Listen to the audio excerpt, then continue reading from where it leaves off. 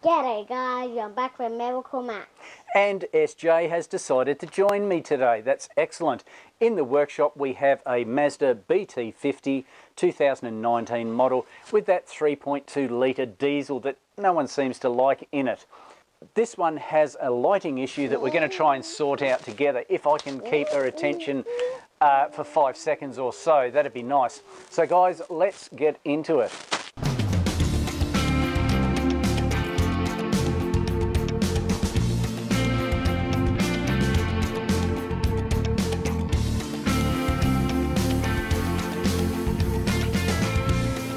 Time ago I fitted a set of spotlights to this vehicle that the customer did supply and it's been going really well for quite some time. But just recently he's noted some really weird things happening including his left hand headlight not working coming and going and the spotlights working on oh she got it right that time.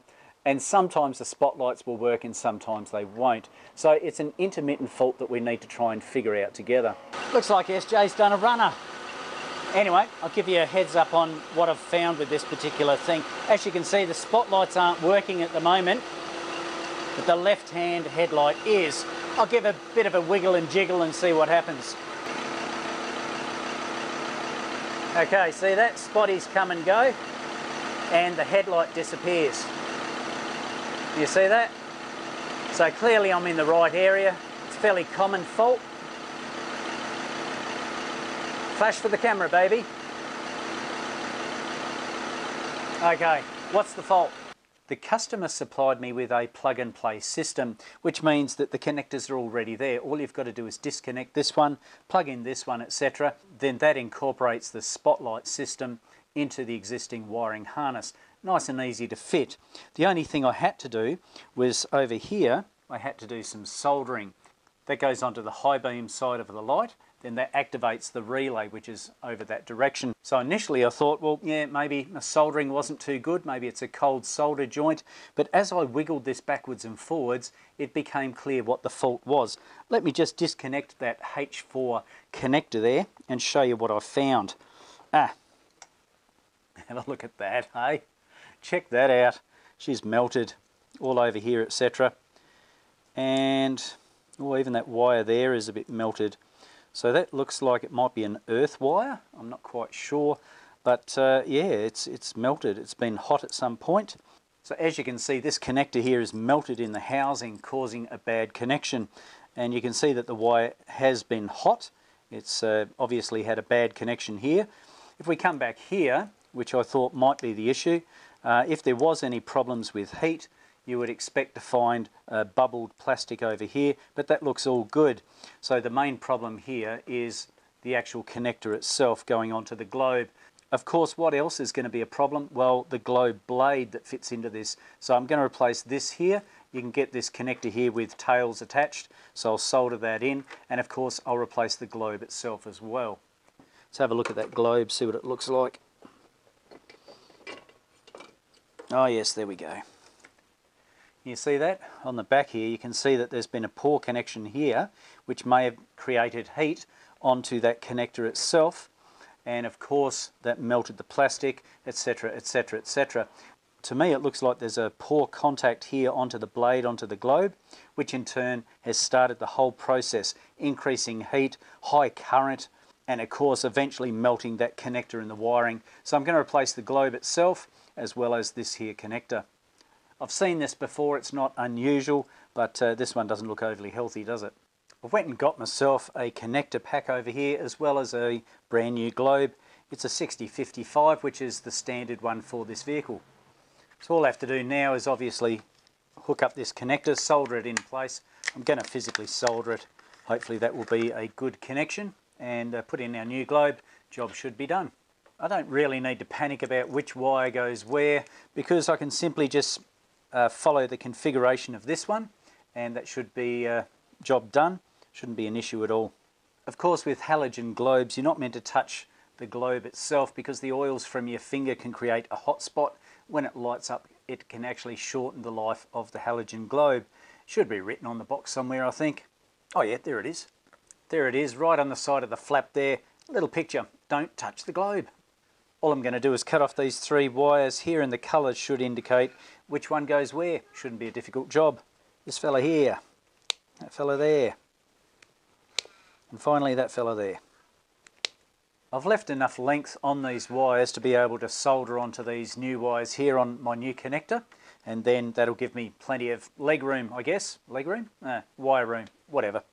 I'm going to use some heat shrink to cover this when I've soldered it and then some conduit to make it look very attractive and keep it away from any heat source or uh, rubbing against metal or whatever you want to call it.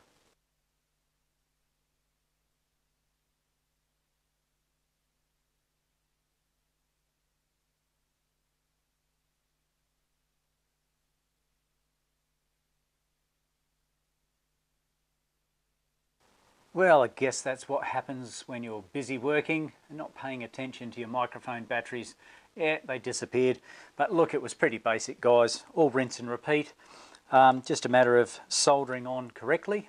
Uh, I'm not sure how much I told you before, but you, mechanically you want to get these wires together to hold. It makes your soldering a lot easier. Then you heat up the underneath of the wire to get it hot. Then you just touch your soldering iron there and eventually it will just leach or have capillary action through the wire itself. So you put the solder on the top of the wire and it'll eventually just melt all the way through.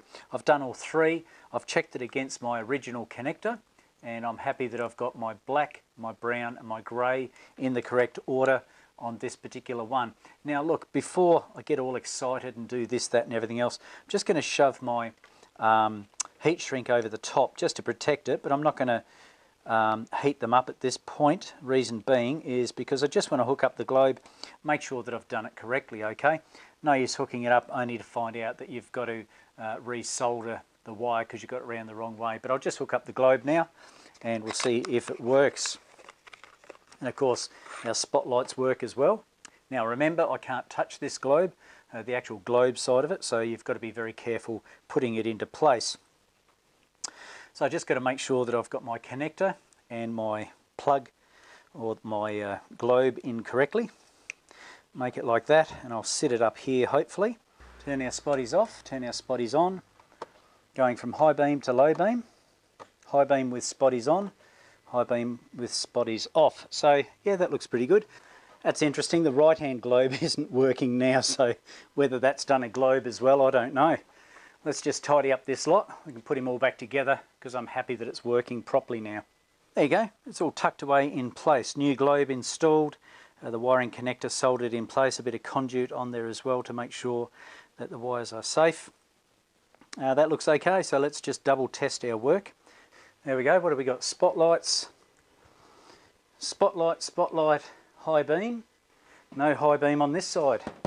wonder if that's done the same thing. Uh, let's go low beam. Got a low beam on this side. No probs. We've got a low beam on this side. So yeah, maybe it's done a globe on this side as well. That's unusual. So here's the globe out of the other side, the driver's side, and I can see that the high beam filament is actually broken, that little fella there. And there's a bit of schmuzz cruising around in the background there, which is the broken bit. So this uh, globe needs to be replaced as well. I wonder if he had a bit of a voltage surge at some point. Maybe a high alternator output or something along those lines. A bit strange for both globes to go, but uh, I might check that as well while it's here. But this globe needs to be replaced. And now with this side headlight replaced, let's see if it all works. We've got to turn on our ignition, of course, in this particular model. So we turn on our headlights. They come on. We've got low beam there. We've got high beam including this light over here, two spotlights, two high beam lights, as well as our low beam lights, all done. I thought I'd just check and see if there's any current or excessive current being drawn. As you can see at the moment, we're just on low beam. We have a look at the current that's being drawn. I'm just on my earth wire, and we're looking at about 4.83 amps, which is acceptable. Let's have a look at high beam. So I'm on the same wire because it's the earth wire so that'll work for both globes. As you can see, spotlights on, high beams, and we're looking at, uh, let's have a look, it's about 5.83 amps, which is not excessive either. I'm just wondering if it had a voltage spike of some sort that uh, created the uh, globes to do what they did. Um, I'm trying to get my uh, Pico up and running at the moment. Do a um, battery test, etc., alternator test, make sure everything's okay. Okay, so what we're going to do now is um, test our battery, our alternator and starter motor. We can do that by Pico Diagnostics, as you can see up the top here. It's a separate uh, program from uh, Pico, uh, Pico oscilloscope, but this is a brilliant one anyway. As you can see down the bottom here, you set up your voltage. It's a lead acid battery, uh, 20 degrees, know, it's probably a bit more than that. I'd say it's about 29 degrees here at the moment. And our CCAs is 740. So all we have to do is hit the start button, it'll tell us to start the engine. I've got the current clamp around the negative side of the battery and uh, that is on channel 2 I believe. Channel 1 has the connections going across the battery, positive and negative. Let's start the vehicle and see what it does.